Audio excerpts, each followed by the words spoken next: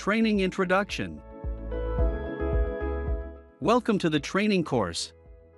It is our pleasure to accompany you through our e learning training course Desigo Control Point Engineering and Commissioning.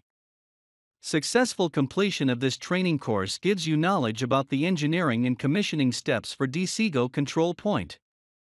This module is intended for all service engineers, project leaders, planners, service technicians, and commissioning technicians wanting to use the web server and one or several touch panels in a building automation and control system.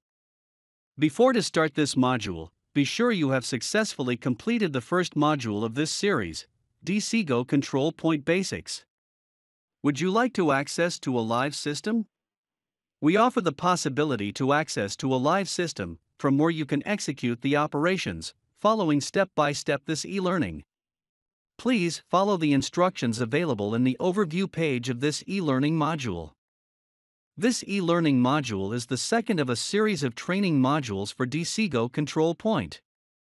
In this specific module, we are going to acquire basic knowledge about the engineering and commissioning of Desigo Control Point, preparing yourself to the third and last training module.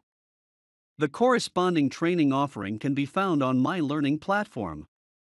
Upon completion of the module, you will understand the differences between offline and online workflows, how to assign devices and integrate data points, how to integrate third party devices, some advanced settings for user management, how to set up SMTP, FTP, and time synchronization.